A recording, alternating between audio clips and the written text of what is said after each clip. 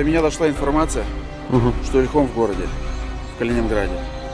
Да? Да. Это не самое главное, но самое главное, что он с Юрой. Да? Ну и немаловажно, они их видели на банане вдвоем.